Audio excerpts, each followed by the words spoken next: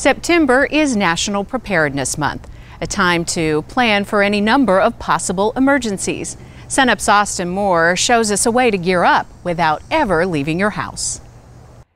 Disasters can happen on a grand scale, such as tornadoes wiping out entire neighborhoods, or they can be highly localized, such as a single home fire. Regardless, we can take time now to make sure the days after a disastrous event are as painless as possible.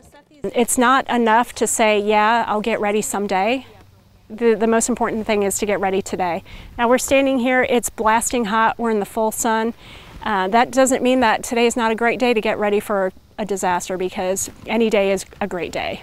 We followed Oklahoma Cooperative Extension's Gina Peek as she helped a local homeowner build a disaster preparedness kit out of items already in the home. And what we also suggest is that you include canned goods with a lot of liquid in them. So, ah. for example, if you have fruit mm -hmm. that is canned in its own juice, that's a really great fit because if you're thirsty, you can drink that juice. A lot of the stuff that you need for a kit, such as food, clothing, a basic first aid kit, you probably already have in your home. So the idea is to look through your own house, find out what you have already, shop in your own home basically, put those things together in a kit. And here's some salmon. Perfect. Tomatoes are full of, of liquid. Yep, I mean, they're they one sure of the best sources of veggies for, for uh, liquids.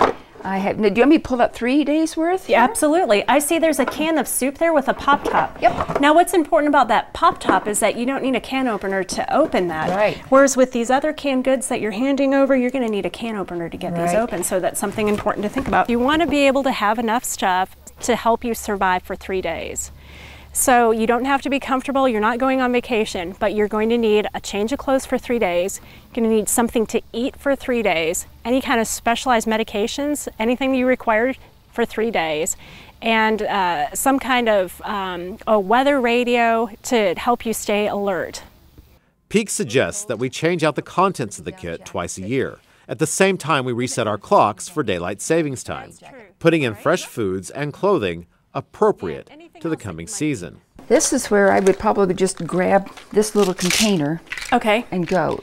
Now that's something that we'll talk about. One of the things that you might consider is let's say there are a few things that you can only grab at the last minute. Mm -hmm. For you, prescription drugs might be one of them. Let's say you don't have three days worth of medicine that you can set aside. You can identify those three things and grab them at the last minute.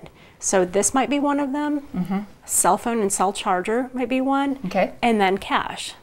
Ah, okay. Okay. So the idea is that that the very last moment you would grab something that you really can't put in your kit. Peek is challenging Oklahomans statewide to build a disaster preparedness kit for each member of their family. You can go to the county office and get a pledge, which is basically a list of all of the stuff to put in a kit and then once you've created the kit, you'll sign a certificate. We're going to count the number of certificates that we collect, and the goal is 500 by the end of this year.